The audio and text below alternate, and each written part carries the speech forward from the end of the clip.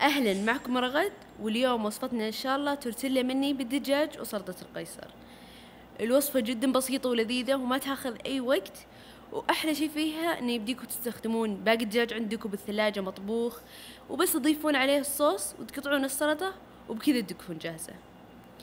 الحين خلونا نشوف المقادير ونبدأ بالطريقة. نجيب ثلاثة صدور دجاج ونبهرها برشة بابريكا وريجانو وفلفل أسود وبودرة ثوم وملح. في شواية ساخنة نصب زيت ونحمر فيليه الدجاج ونقلبه على الوجه الثاني. بعدين نغطيه بقصدير مدة عشر دقايق حتى يستوي. وإذا كنتم مستعجلين وما لكم خلق تغطونه بقصدير يمديكم تقطعون الدجاج قبل شرايح وبس تحطونه على النار وما يحتاج قصدير ولا شيء. بعد ما يبرد نقطع شرايح أو نفتته باليد أو زي ما قلت في البداية يمديكم تستخدمون دجاج مسلوق عندكم وجاهز وتفتتونه بدل ما تشوون فيه.